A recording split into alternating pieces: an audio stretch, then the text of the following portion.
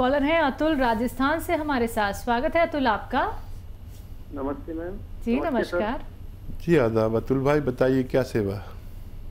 Sir क्या क्या हमारे जो फादर हैं उनके 79 एज है हम्म। और उनके क्या हार्ट में ब्लॉकेज है।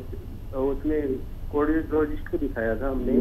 तो उसमें जो वो करते हैं ना वो इको इको करते हैं उसके हम्म। अंदर दिखाया था। हम्म, तो वो 79 एज के हुए वो बोल रहे हैं इनका हार्ट का वो वोल चेंज करवाइए जी। ठीक है बेटा। एक तो बहुत अच्छा किया आपने फ़ोन कर लिया क्योंकि जो एज है ना उसमें कुछ भी कर नहीं सकते। आप औलाद हैं माँ बाप के लिए तड़प रहे हैं तो मैं आपकी तड़प समझ सकता हूँ लेकिन एक नस्खा आप उन्हें अगर खुद बना के दें या अपनी पत्नी से या अपनी मम्मी से बनवा के दें बहुत ही आसान है। नींबू का जूस एक लीटर, अदरक का जूस एक लीटर, ये दुनिया का मशहूर नुस्खा है और ये अरबी नुस्खा कहलाता है, अरबी नुस्खा।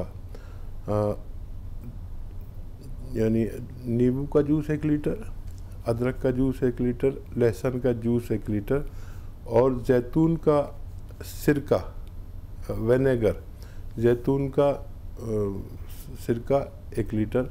इन सबको मिलाकर रखें और तीन चम्मच सुबह नाश्ते के बाद तीन चम्मच शाम को खाने के बाद पिताजी को दिया करें।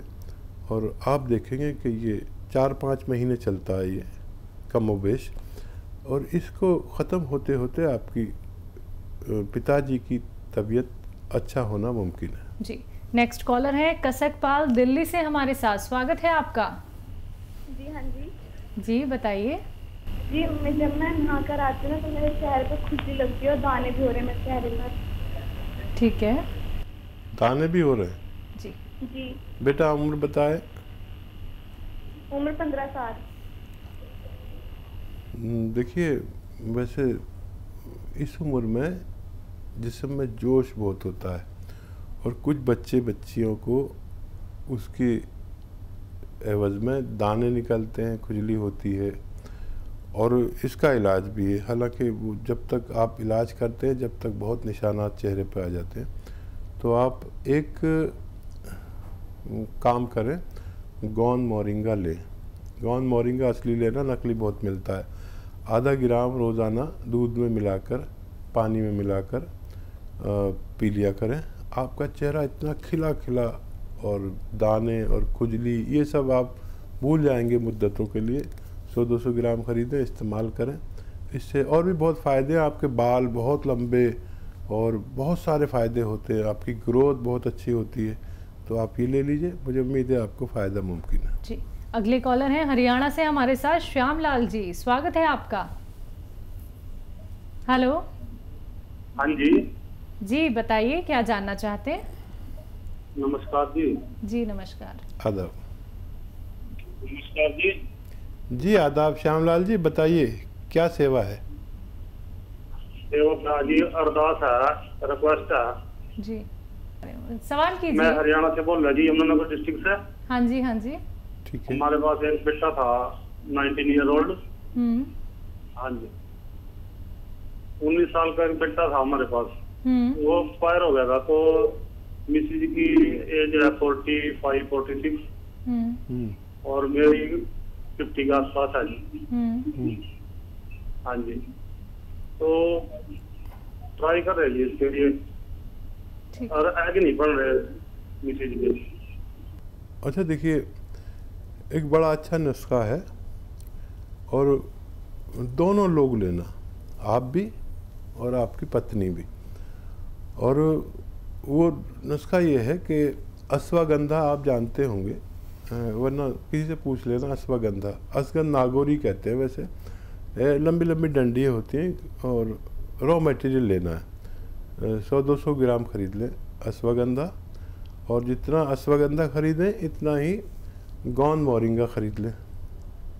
ये दोनों चीज़ें दो दो सौ ग्राम लेके और पाउडर घर पे बनाना। दोनों रॉ मटेरियल लेना। कोई भी कितना भी कहे कि पिसावा ले लो, गोलियाँ मिल जाएँगी, ये वो कुछ मत करना।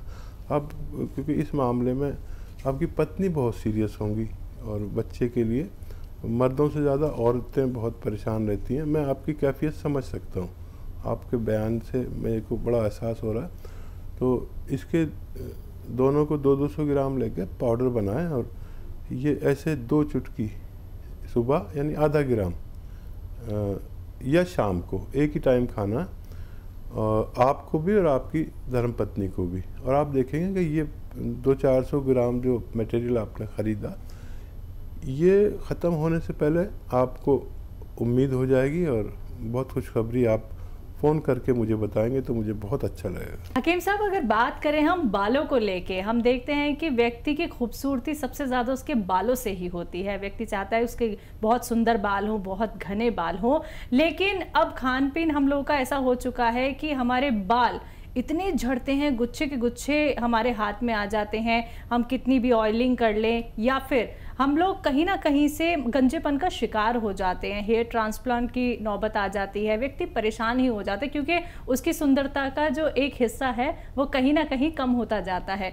तो क्या हम अपने बालों को बचा सकते हैं घरेलू नुस्खे अपना के? हाँ देखिए भगवान का शुक्र है मेरे बाल तो हैं। जी। और मेरे बाल इतने हैं हम्म। कि लोग ये समझने लगे शुरू में तो कि मैं विग लगाता हूँ। जी।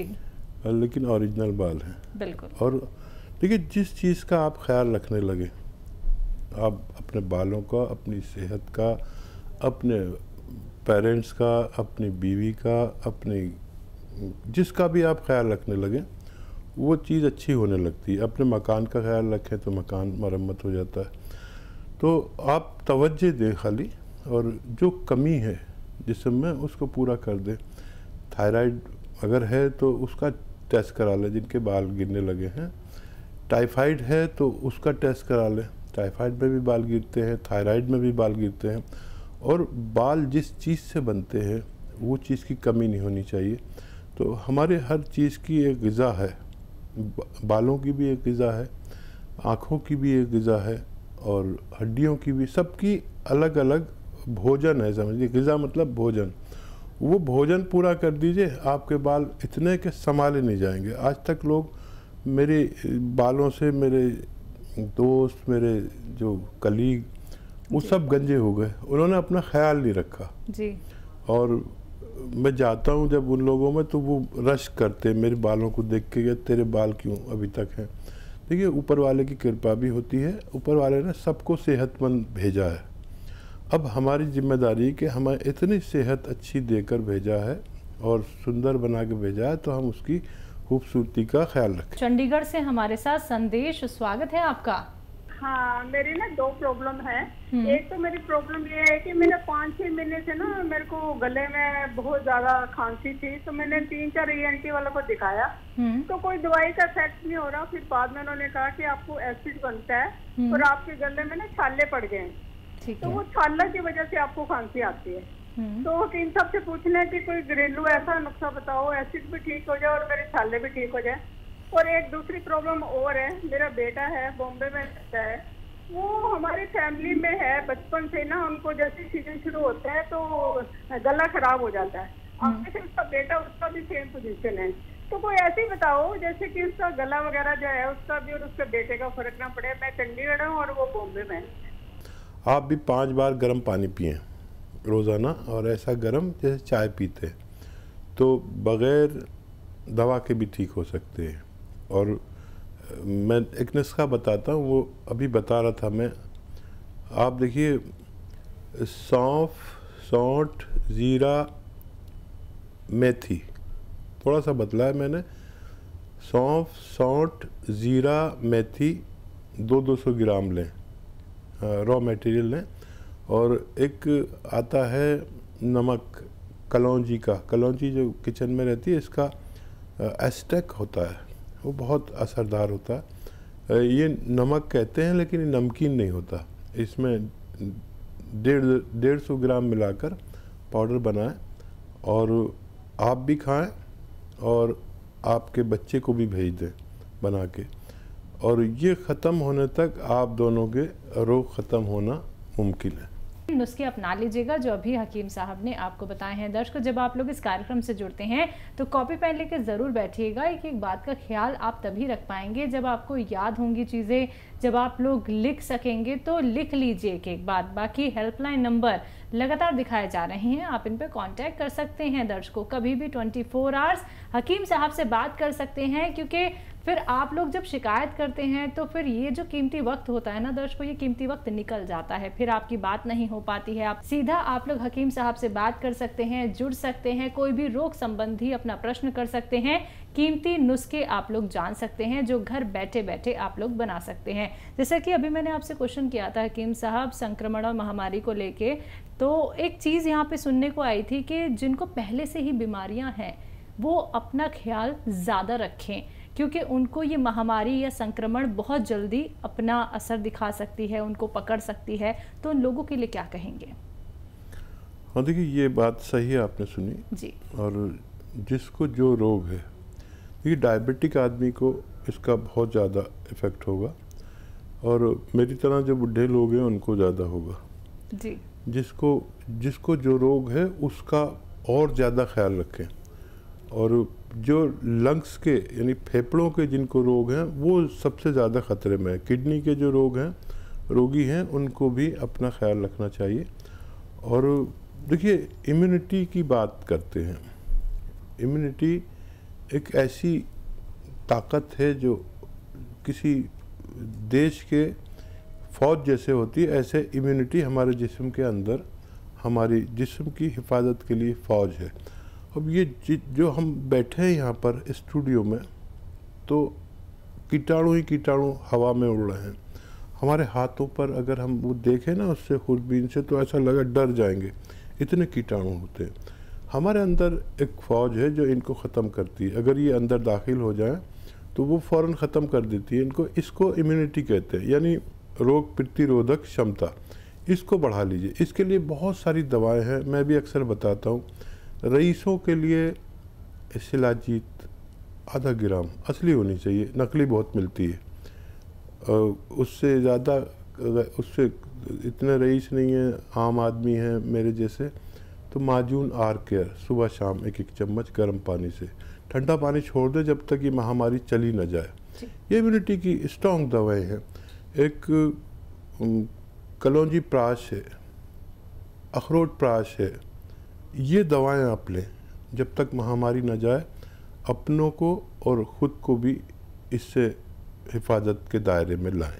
चलिए इसी के साथ कुछ और कॉलर जुड़ गए हैं बात कर लेते हैं। डिम्पल रॉय हैं आजमगढ़ से हमारे साथ। स्वागत है आपका। हेलो हाँ मैम नमस्ते। जी नमस्कार। मेरी मम्मी की कमर में बहुत दर्द रहता है मैम। हम्म। तो बच्चा एक दवा जो इतनी मशहूर है वो एक रॉ मटेरियल है। उसको कहते हैं गौनसिया। मैंने ये बात पूरे हिंदुस्तान तक पहुँचा दी। मिलती मुश्किल से है, नकली भी मिल जाती है, असली हासिल करें। आधा आधा ग्राम मम्मी को खिलाएँ। और आप देखेंगे कि ये सौ ग्राम भी आपने अगर ख़रीद लिया, असली लेना। बस कड़वा होता है बहुत, और बहुत बुरा सा रंग होता है, बुरा जायका होता है। लेकिन ये दवा, ये रॉ मटेरियल ऐसा है कि आपकी मम्मी की पूरी जोड़ों की कमर की नसों की हड्डियों की सारी रिपेयर करता है और ये 100-200 ग्राम ख़त्म होने से पहले पहले आपकी मम्मी का ठीक होना मुमकिन है। जी नेक्स्ट कॉलर हैं आकाश दिल्ली से हमारे साथ। स्वागत है आकाश जी आपका। हेलो।